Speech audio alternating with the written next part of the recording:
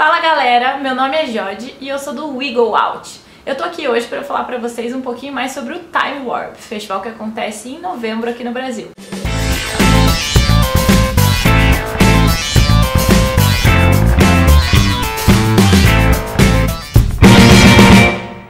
Para quem não conhece, o Time Warp é um festival de techno que surgiu em Mannheim, na Alemanha. O festival é tão tradicional que no ano que vem ele vai fazer 25 anos e vai ter uma edição super comemorativa no dia 6 de abril. Já aqui no Brasil, o festival vai acontecer pela primeira vez e vai ser nos dias 2 e 3 de novembro no Parque do Anhembi, em São Paulo. Essa localização, na verdade, é uma localização bem boa em São Paulo.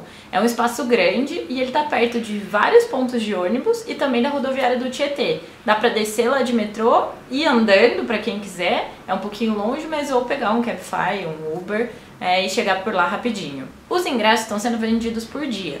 Então é um ingresso para sexta e um ingresso para sábado.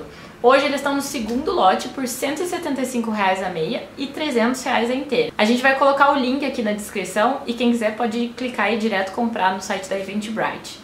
E o que, que a gente já sabe do festival? Que vão ser dois palcos. O Cave 2.0, que se vocês procurarem na internet, vocês vão ver que é um palco super famoso, porque ele é meio que uma caverna, ele dá a impressão de ser uma caverna, então ele promete ser um...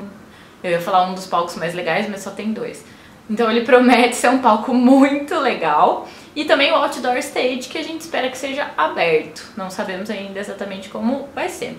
E olha esse line-up. No primeiro dia, no Cave, vai ter Amelie Lenz, que tá devendo aqui, a galera tá querendo assistir uma apresentação dela.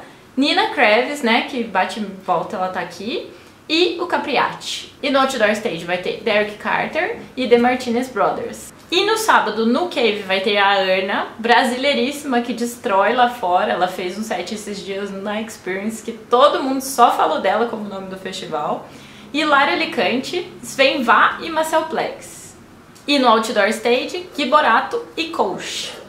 Bom, o festival está sendo feito pela Entourage aqui no Brasil e a gente está com expectativa super alta. Os nomes são bem grandes, bem conhecidos, então com certeza música boa não vai faltar. E também pelo fato de ser a primeira vez no festival no Brasil. É um festival alemão, então a gente espera que eles cheguem igual os holandeses chegaram, fazendo um festival muito bem feito e que fique marcado aqui nesse ano, igual o Deck Mantle ficou. É, pra finalizar agora, eu vou colocar umas imagens do Cave 2.0, só pra vocês terem uma ideia dos palcos, e também um pouquinho das outras edições que já rolaram lá na Alemanha.